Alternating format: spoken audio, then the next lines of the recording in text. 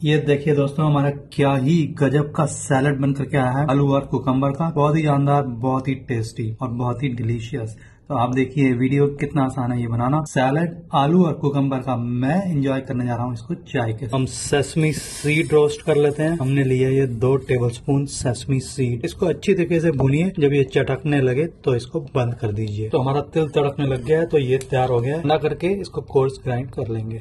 दो table spoon sesame seeds जिसको कि हमने रोस्ट कर लिया है। इसमें डाल रहे हैं आधी टेबल स्पून डेगी लाल मिर्च कलर के लिए। नमक डाल रहे हैं स्वाद अनुसार। अब इस सारे मसाले मसाले को हम पीस लेते हैं मिक्सी के अंदर। तो ये तैयार हो गया है हमारा सैलड का मसाला। तो ये सैलड बनाने के लिए सबसे पहले हम अपने खीरे को काट लेते हैं। आप इसको चिकल के साथ भी काट सकते हैं और चिकल निकाल करके भी काट सकते हैं। तो हम इसको चिकल के साथ ही काट रहे हैं। इस तरीके के साइज़ के काट लीजिए।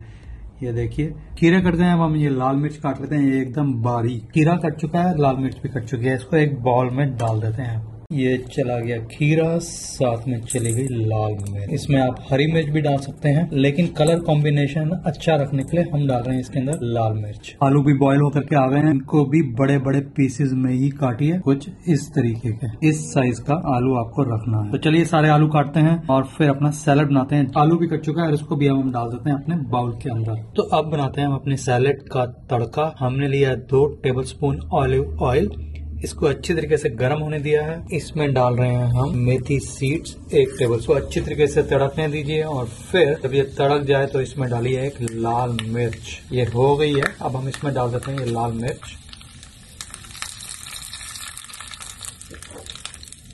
लाल मिर्च फ़र्स्ट क्लास हो गई है, इसको निकाल लेते हैं। मेथी भी हो गई है और गैस कर देते हैं बंद। तेल गर्म हो गया है, इसमें हमने डाल दिया हल्दी।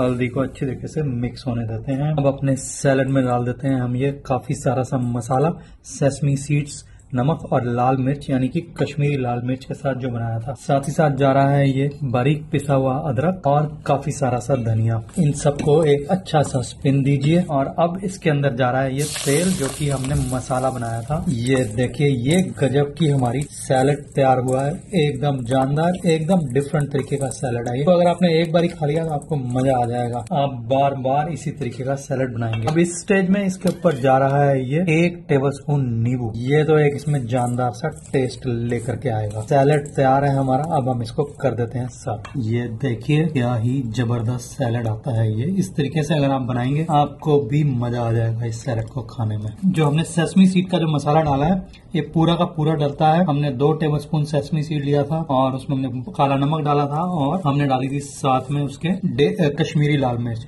बिल्कुल वैसे ही डालिएगा, उतनी ही प्रपोर्शन से एक फुल नींबू का जूस डाला है। आपको खट्टा ज़्यादा अच्छा लगता है तो आप कम ज़्यादा अपने हिसाब से कर सकते हैं। और ये लगा दी हमने लाल मिर्च। बहुत ही गजब का सैलड बनाया है ये। इस तरीके से अगर आपने बनाया ये सैलड घर में सभी को बहुत पसंद आएगा। अगर आपको मेरा ये वीडियो अच्छा लगा हो तो आप मेरे चैनल को लाइक करें शेयर करें और सब्सक्राइब का बटन दबाना ना भूलें। सब्सक्राइब के ही बाजू में बेल आइकन होता है, उसको भी ज़रूर दबाएँ, ताकि सबसे पहले आप ही के पास हमारा नोटिफिकेशन आए। Thank you for watching stay safe and stay healthy